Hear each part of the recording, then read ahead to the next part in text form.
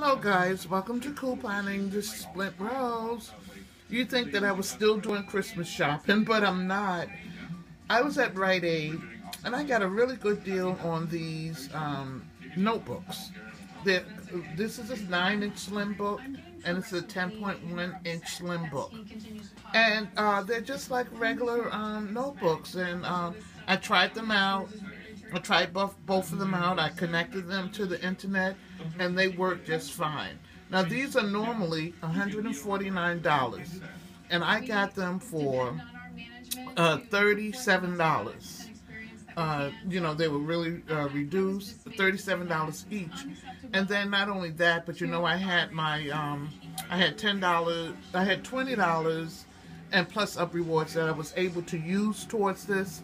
So I reduced my price here to 26 and I reduced the price here to 26 as well.